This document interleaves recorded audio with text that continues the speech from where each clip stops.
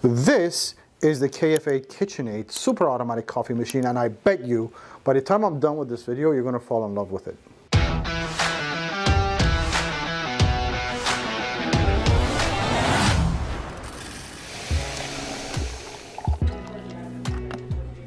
Now why do I say that? This KF8 is the top of the line model in the super automatic lineup of KitchenAid. It's a new model and here's what happened. KitchenAid went out, found all the features people would want in their espresso machines and things people didn't know they want in their espresso machines, shoved them all in the KF8 and this is what they came up with and it's a beautiful machine. It has features and uh, options that you will not get in this price range from anybody.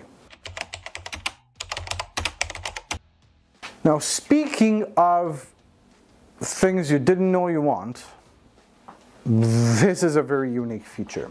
Imagine not having the ability to have a removable bean hopper.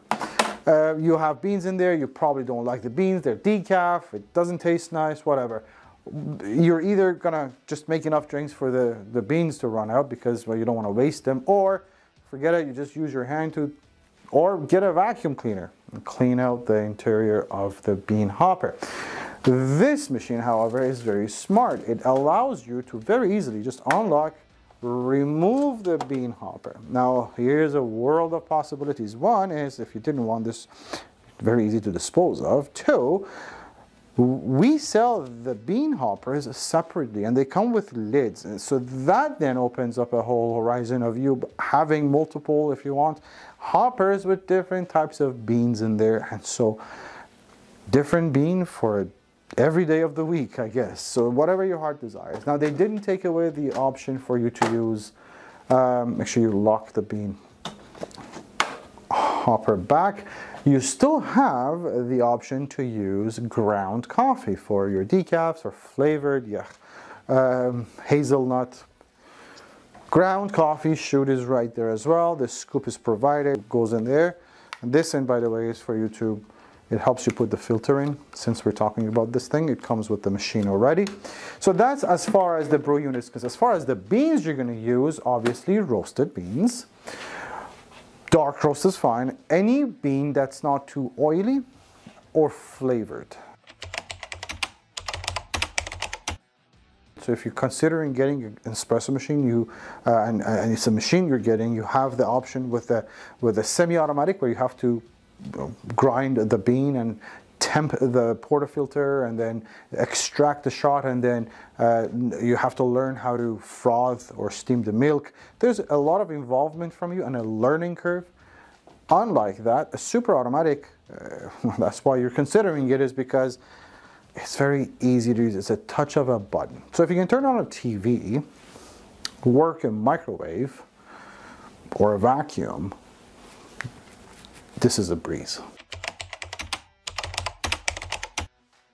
Um, we always have measurements in our product pages, but since I have a measuring tape, um, you need about 18 inches of depth, which is pretty standard, about 10 inches I would assume here, just under 10 inches width. More importantly, people would wonder if this is going to fit under the countertop, and as long as you have a standard home with a standard countertop balances, yes, they will fit. Um, just like this, the machine is just under 14 and a half inches tall. What's important though is when you open the lid and you want to take out the water container, I'm only going to go up about a half an inch before I'm able to just go on the side. This is versus some machines that have the water container in the back. That can be a pain. But this is really easy to remove the water tank and um, um, fill it up if that's what you want to do. Otherwise, you bring water to it. Now with the lid open, we're going to need just under 19 inches of clearance, which again is more than enough for, for any standard home. Since we're talking about size and dimensions, it is worth mentioning that the KF8 gets a really large water tank and drip tray. And this becomes an issue when you don't have a large water tank and drip tray. And the reason I say that is because if you know, you know. If you've ever used a machine that's got a small tank, small tray. Every three, four drinks, the machine is like, oh, fill up the water tank. Oh, empty the drip tray every four drinks. So maybe multiple times a day you need to do that. So it becomes such a nuisance having the luxury of large water tank, large drip tray. This thing can go maybe 10, 12 drinks before it asks to be filled up again. So being the top of the line model, you get a 5 inch touch screen. Some of the menu stuff is inside the touch screen and there's four buttons on the outside. The two buttons that you're most likely going to use on the outside are the uh, drink menu button and the play button, which starts making the drink. You also have a profile user button right here uh, and the exit button there. Now within uh, the screen you have navigation buttons down here. Those are the two arrows that allow you to go between different screens and choose different things. You have a settings menu up on the corner which allows you to go through the different settings of the machine, pretty straightforward.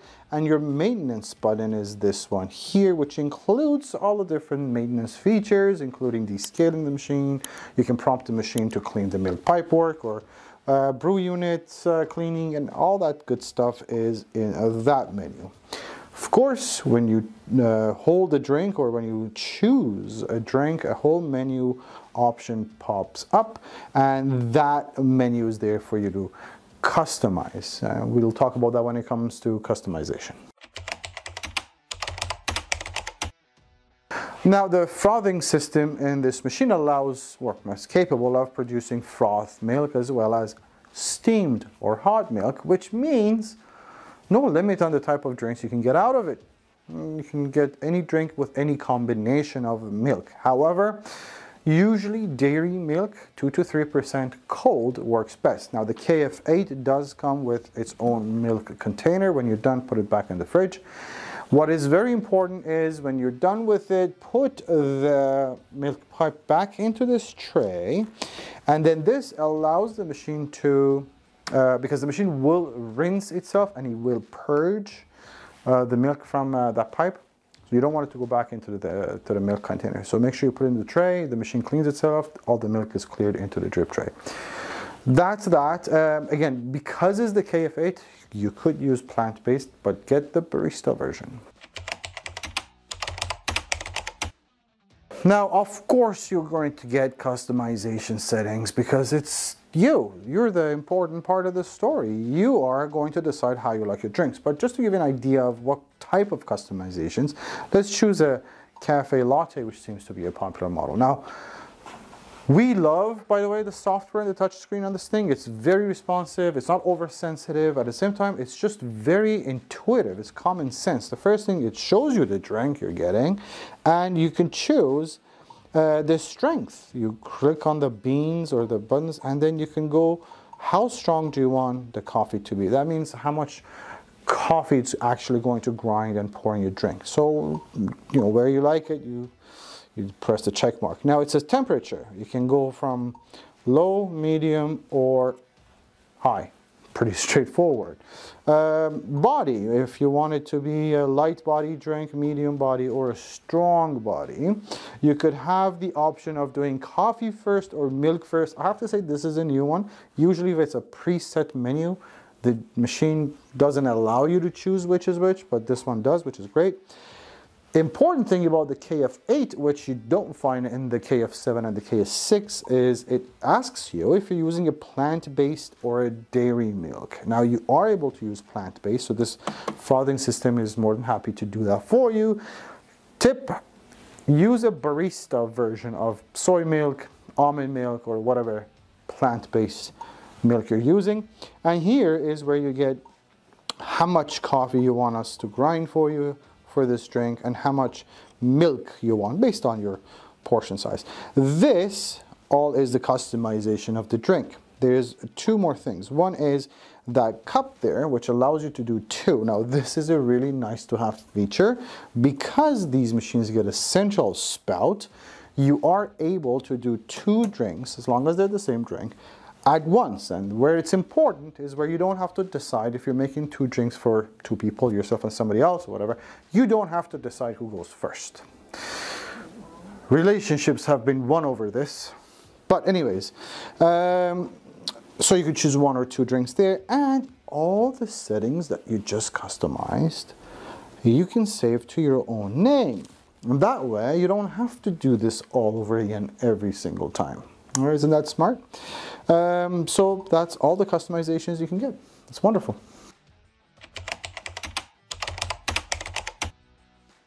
literature says 40 plus drinks. Now, I think the way this question should be asked is how many pre-selected drinks are on the menu? Because it does come with a drink recipe where there's espresso martinis and, and, and um, affogatos and espresso tonics and a whole bunch of recipes that's not here. So it's really your skills and imagination that determines how many drinks this thing will make. But as long as, when as far as the pre-selected menu is concerned, it covers everything you would possibly need. It goes into screens and each screen has four options. Cafe latte, espresso, cappuccino, americano. That's pretty smart. It's like they knew these are the most popular drinks. Macchiato, latte macchiato, espresso longo, which is, seems to be a longer taller espresso, cortado, which is a favorite, coffee, ristretto, cafe au lait, flat white, which is another favorite, froth milk, warm milk, hot water, green tea. So the temperature of the hot water is suitable for green tea. So that is 16 drinks that is in the pre-selected menu. Remember, you could do two of each drink as well. We're going to make latte macchiatos, but I want to make some adjustment. This is just to show you what the motion is when you go through um, making a drink. Now, temperature is already set at high, strength is set at maximum, which is fantastic. Body is already set as strong, which is great. Milk first, well, let the machine decide. Milk type is dairy milk, which is good. It's going to give me two ounces of coffee and 3.3. So I want this to be 2.6 ounces of espresso and let's call it 4.2 ounces of milk and I would like for it to make two drinks at the same time so I'm just going to press on that. The machine is ready to make the drink, it knows everything it needs to and it's prompting that play button. There we go. Oh, one thing you will be surprised at is how muffled, how silent, how quiet this machine is. So, and you get a progress bar, by the way. So your expectations are in check. You don't have to wonder when it's finished. It'll show you right here. And it tells you exactly what it's doing. Right now it's heating.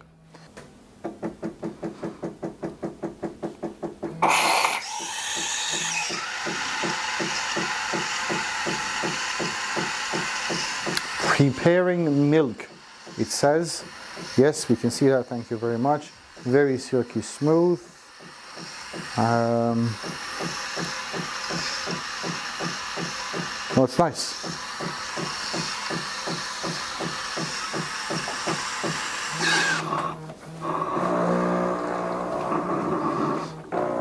By the way, if you ever wanted to get more love from people, your guests, friends, family, they will love you for your coffee machine. This I know.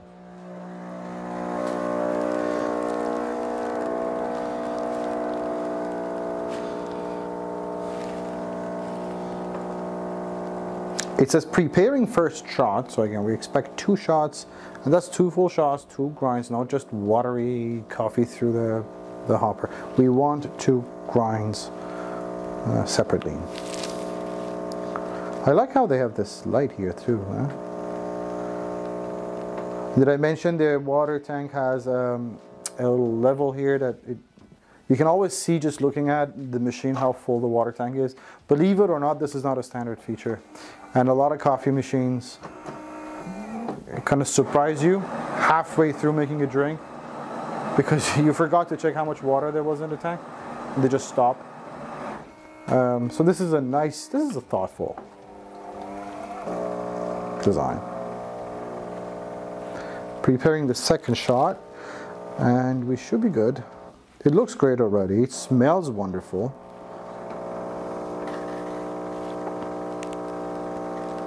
By the way, I like the white and I think everyone in our office has so far commented the white is just this, this nicest color so far. Uh, we haven't seen the green yet, I have to say.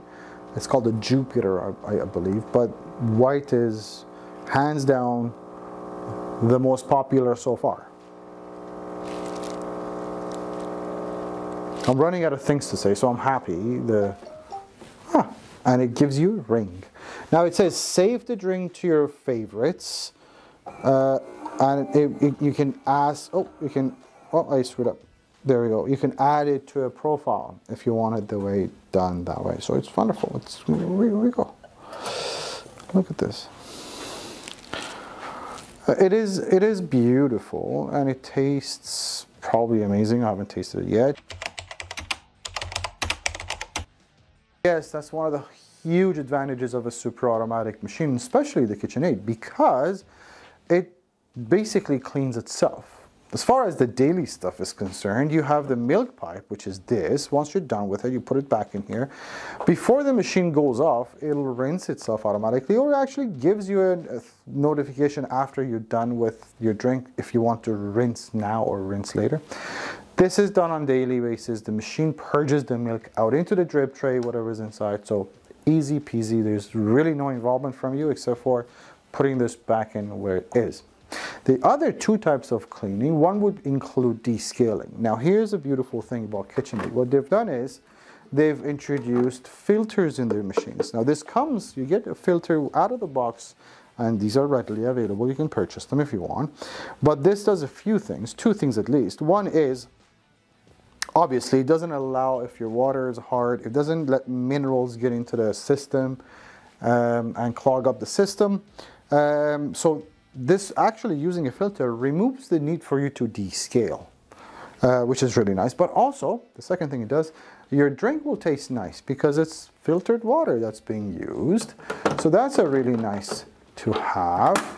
The last thing you would have to do on this machine, every about 200 drinks, the machine will prompt you, by the way, anything to do with anything as far as cleaning is concerned, the machine will show you with graphics with images. So it's a, an absolute no-brainer. You will not have a problem with it. But the last thing you're going to do every 200 drinks is to clean the brew unit. The machine does come with two cleaning tablets. It does get a removable brew unit, so you can take this under a sink and clean it.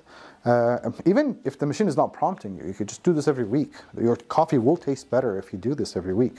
Uh, just take it under the sink and wash it and clean it.